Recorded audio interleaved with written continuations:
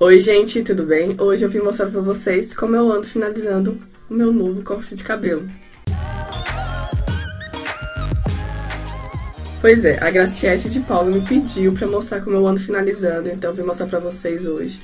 Na verdade, não mudou muita coisa, mudou mais, mudou mais a franjinha, mas continue aí pra você conferir como eu ando finalizando o cabelo. Então, gente, para começar a finalizar meu cabelo, eu venho primeiro com o Yamasterol. O Yamasterol, ele é super hidratante, então eu gosto sempre de passar ele antes, cabelo todo. Depois eu venho, divido primeiro a parte de cima, porque eu gosto de finalizar ela por último. Eu pego essa outra parte aqui, divido em duas, coloco um pouquinho de creme. Vou passar aqui nas duas mãos e vou começar a passar de um lado e depois do outro. Depois eu venho iluvando, iluvando, iluvando pro cabelo absorver bem o creme. Depois venho passando os dedos assim como se fosse penteando para dar uma soltada nos cachos. Eu venho pra parte de cima, passo o creme e fico enluvando, enluvando, enluvando. A mesma coisa. Divido mais uma vez, pego essa parte que vai ficar mais atrás, venho e fico enluvando, enluvando, enluvando. E agora vem a parte mais chatinha que eu tenho que dividir a parte da franja. Então, jogando esses fiozinhos para trás até ficar só a parte da franja. O que eu faço diferente na franja é porque aí sim eu faço uma fitagem. Então eu só faço a fitagem na franja para poder ficar mais fácil. Na hora, às vezes eu faço a fitagem, depois quando ele tá seco eu dou uma soltada a mais.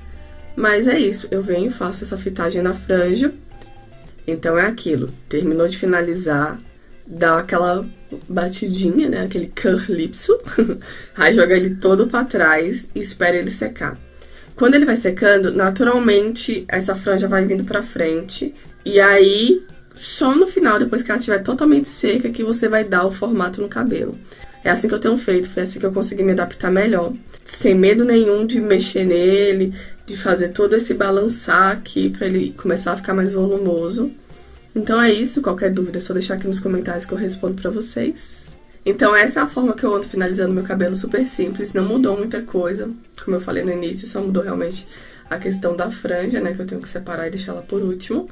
E é isso, então aqui ó, já tô até no day after. Depois eu vou postar um vídeo pra vocês mostrando os meus day afters, como eu ando fazendo. E é isso, minha gente. Eu espero muito que vocês tenham gostado. Então, se vocês tiverem gostado, deixa o um joinha aqui pra mim. Se inscreve no canal caso você não seja inscrito. Me siga nas redes sociais. E se tiver alguma dica de algum vídeo pra eu gravar, deixa aqui embaixo também. E é isso. Beijo e até a próxima. Tchau!